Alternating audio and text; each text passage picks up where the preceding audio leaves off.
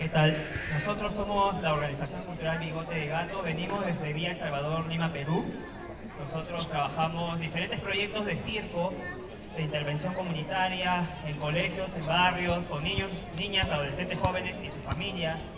Eh, trabajamos diferentes temas como el que han visto a través de nuestros espectáculos y esperamos que les haya gustado. Un aplauso para,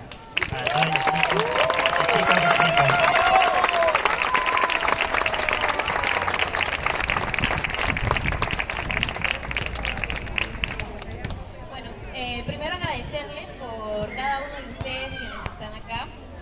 Nos hemos encontrado con muchas personas que son de Perú. Muchas gracias por haber venido a ver este espectáculo. Esta historia relata un poco sobre Cavillaca y la creación de las islas de Pachacamac.